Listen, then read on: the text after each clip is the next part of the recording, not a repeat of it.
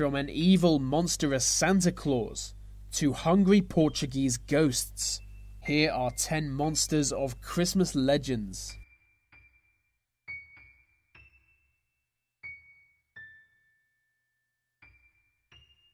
In Germanic folklore, Krampus is sort of like the evil twin of Father Christmas. Whereas Father Christmas would visit good children and reward them, Krampus would visit bad children and punish them. Often described as the horned god of the witches, Krampus is demonic in appearance. He is depicted with chains around him, a failed attempt to imprison him. Naughty children would be beaten by Krampus, and if necessary, he would call in a witch to finish the job. In some parts of Europe, December the 5th is celebrated as Krampus Night. People get drunk, dress up as Krampus, and attack passers by with sticks.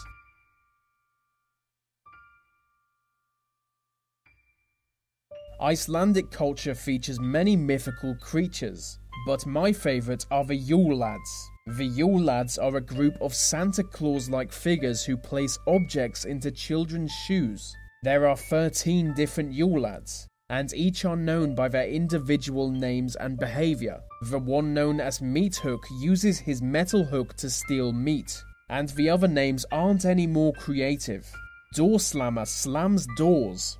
Window Peeper watches people through their windows. Stubby has short, stubby legs, and Candle Stealer stalks young children. The whole time he waits for the opportunity to steal their candles. In the last 13 nights before Christmas Day, each of the Yule lads arrive in Icelandic towns one by one.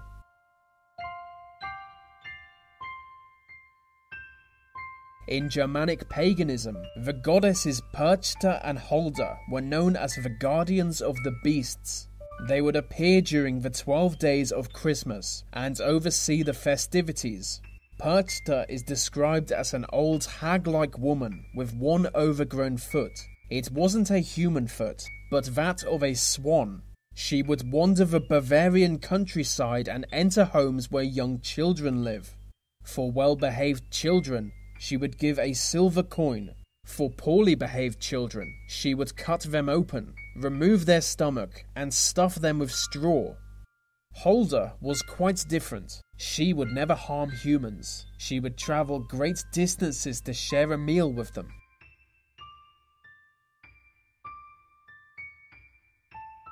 Black Peter is a shocking character from Dutch folklore. He is one of St. Nicholas's companions and his main servant.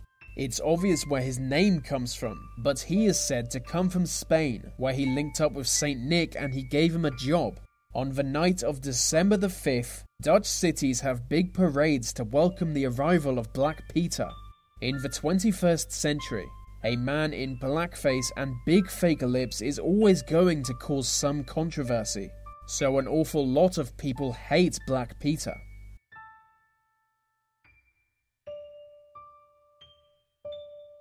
An Italian Christmas monster is Befana. In local folklore, Befana is descended from the Roman goddess Strenia. She is an immortal creature who first emerged a few days before the birth of Jesus. Her child had recently died, and the loss had driven her insane. When word of Jesus' birth spread, she set out to find him. Deluded by her madness, she believed Jesus was her child, and she still believes that. So every Christmas, she enters people's homes looking for him. On her way, she leaves gifts for other children, but she attacks anyone who looks her in the face. It's important to remember she is insane.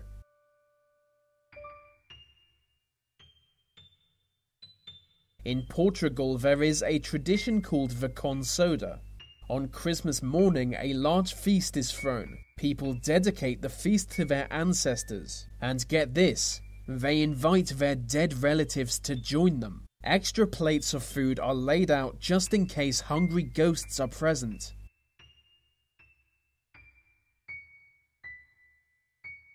Our next monster has a name that I'm not even going to try and pronounce. It's a short, goat footed, goblin like creature.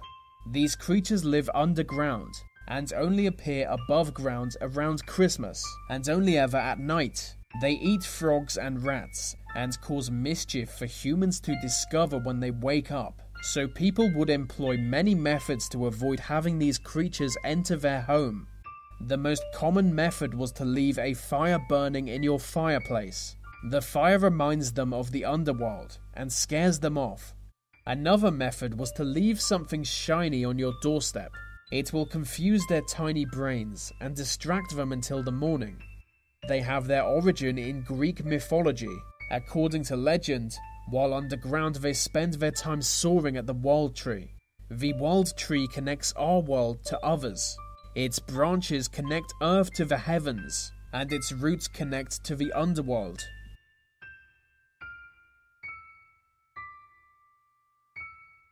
According to legend, there is an ogress who lives in the Icelandic mountains.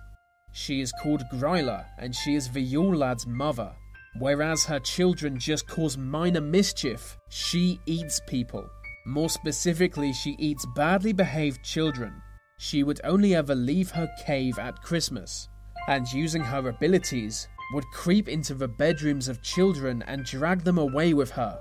Back in her cave, she cooks them in a child stew, which is, of course, her favourite meal.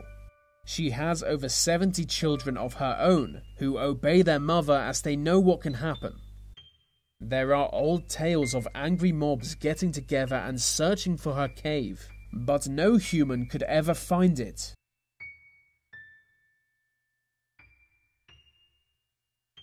Belsnickel is a scruffy fur clad character in German folklore. Like many others on this list, he seems to like beating children, and he carries a switch to do this with. A switch is a flexible wooden rod used for corporal punishment.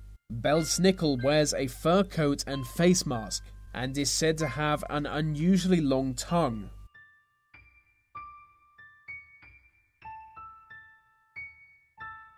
Hans Trapp is somewhat similar to Krampus. He also accompanies St. Nicholas and also delivers punishment to badly behaved children. The story goes that he was once a regular person, but a devil worshipper, and for that he was excommunicated from the church. Rejected by society, he lived alone in the woods, where he would dress as a scarecrow and scare children. Eventually, the isolation drove him insane, and he started kidnapping children.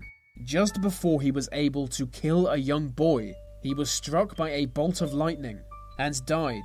But now, for some reason, he travels around with Father Christmas.